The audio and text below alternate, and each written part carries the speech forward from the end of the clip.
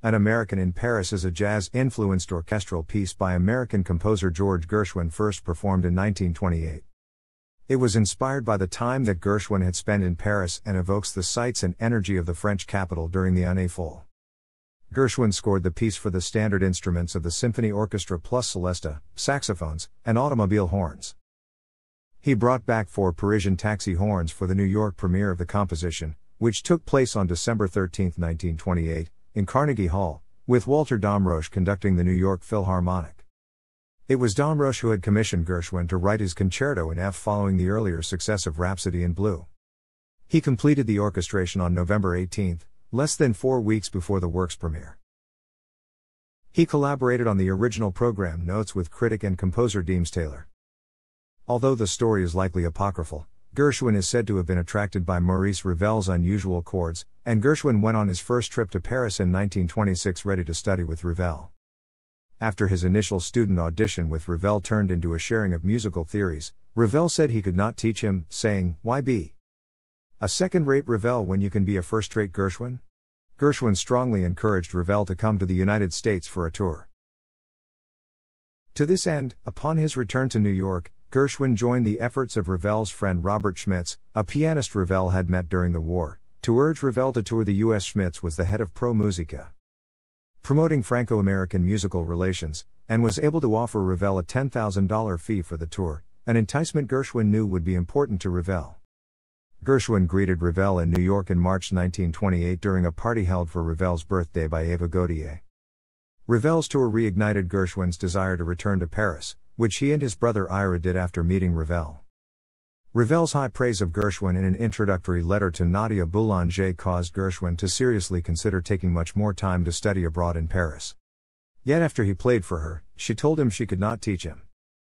Boulanger gave Gershwin basically the same advice she gave all her accomplished master students What could I give you that you haven't already got? This did not set Gershwin back as his real intent abroad was to complete a new work based on Paris and perhaps a second Rhapsody for piano and orchestra to follow his Rhapsody in Blue. Paris at this time hosted many expatriate writers, among them Ezra Pound, W. B. Yeats, Ernest Hemingway, and artist Pablo Picasso. Themes from an American in Paris audio playback is not supported in your browser. You can download the audio file. Audio playback is not supported in your browser. You can download the audio file. Gershwin based an American in Paris on a melodic fragment called Very Parisienne, written in 1926 on his first visit to Paris as a gift to his hosts, Robert and Mabel Schirmer. Gershwin called it a rhapsodic ballet, it is written freely and in a much more modern idiom than his prior works. Gershwin explained in Musical America My purpose here is to portray the impressions of an American visitor in Paris as he strolls about the city, listens to the various street noises, and absorbs the French atmosphere. The piece is structured into five sections, which culminate in a loose ABA format. Gershwin's first A episode introduces the two main walking themes in the Allegretto Grazioso and develops a third theme in the Subito con brio. The style of this A section is written in the typical French style of composers Claude Debussy and Les Six. This A section featured duple meter, sing-song rhythms, and diatonic melodies with the sounds of oboe, English horn, and taxi horns. The B sections Andante ma con ritmo deciso introduces the American blues and spasms of homesickness. The allegro that follows continues to express homesickness in a faster 12 bar blues. In the B section, Gershwin uses common time, syncopated rhythms, and bluesy melodies with the sounds of trumpet, saxophone, and snare drum. Moderato con grazia is the last A section that returns to the theme set in A after recapitulating the walking themes, Gershwin overlays the slow blues theme from section B in the final grandioso. Conductor Walter Damrosch and composer George Gershwin Gershwin did not particularly like Walter Damrosch's interpretation at the world premiere of An American in Paris. He stated that Damrosch's sluggish, dragging tempo caused him to walk out of the hall during a matinee performance of this work. The audience, according to Edward Cushing, responded with a demonstration of enthusiasm impressively genuine in contrast to the conventional applause which new music, good and bad, ordinarily arouses. Critics believe that An American in Paris was better crafted than Gershwin's concerto in F. Some did not think it belonged in a program with classical composers César Franck, Richard Wagner, or Guillaume Lekeu on its premiere. Gershwin responded to the critics It's not a Beethoven symphony, you know. It's a humorous piece, nothing solemn about it. It's not intended to draw tears. If it pleases symphony audiences as a light, jolly piece, a series of impressions musically expressed, it succeeds.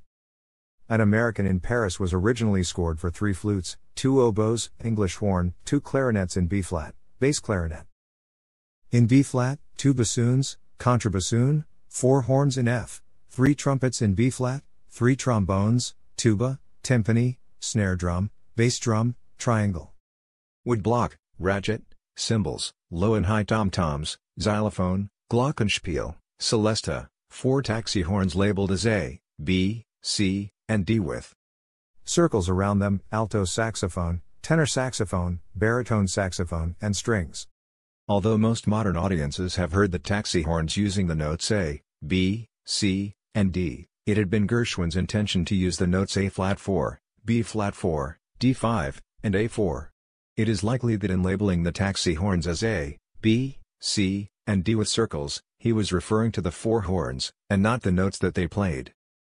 A major revision of the work by composer and arranger F. Campbell Watson simplified the instrumentation by reducing the saxophones to only three instruments alto, tenor, and baritone. The soprano saxophone doublings were eliminated to avoid changing instruments, and the contrabassoon was also deleted. This became the standard performing edition until 2000, when Gershwin specialist Jack Gibbons made his own restoration of the original orchestration of An American in Paris. Working directly from Gershwin's original manuscript, including the restoration of Gershwin's soprano saxophone parts removed in Campbell Watson's revision. Gibbons' restored orchestration of An American in Paris was performed at London's Queen Elizabeth Hall on July 9, 2000, by the City of Oxford Orchestra conducted by Levon Parikian. William Daly arranged the score for piano solo. This was published by New World Music in 1929. On September 22, 2013, it was announced that a musicological critical edition of the full orchestral score would be eventually released. The Gershwin family, working in conjunction with the Library of Congress and the University of Michigan, were working to make scores available to the public that represent Gershwin's true intent. It was unknown whether the critical score would include the four minutes of material Gershwin later deleted from the work or if the score would document changes in the orchestration during Gershwin's composition process. The score to An American in Paris was scheduled to be issued first in a series of scores to be released.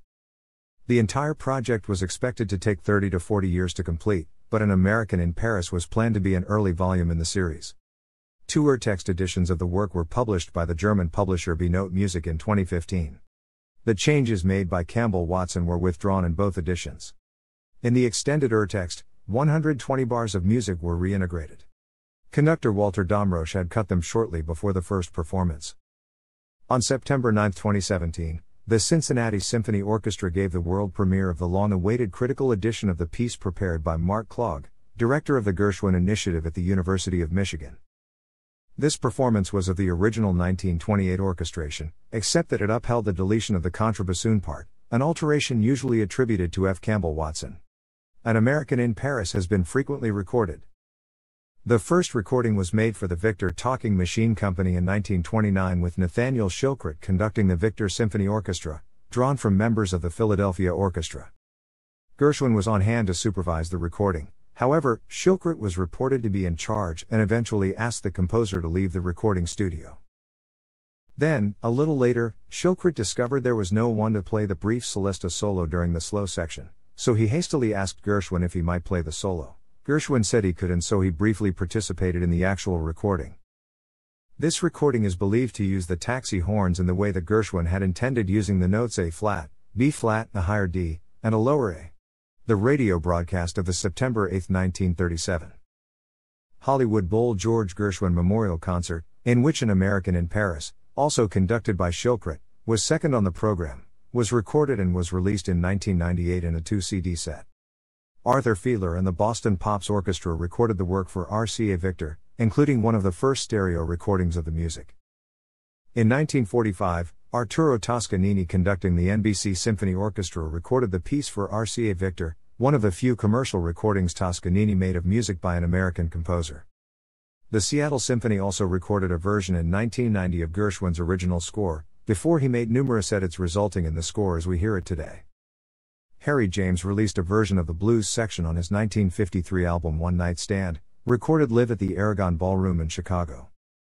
In 1951, Metro Goldwyn Mayer released the musical film, An American in Paris, featuring Gene Kelly and Leslie Caron. Winning the 1951 Best Picture Oscar, and numerous other awards, the film was directed by Vincente Minnelli, featured many tunes of Gershwin, and concluded with an extensive, elaborate dance sequence built around the An American in Paris symphonic poem, costing $500,000. Thanks for watching.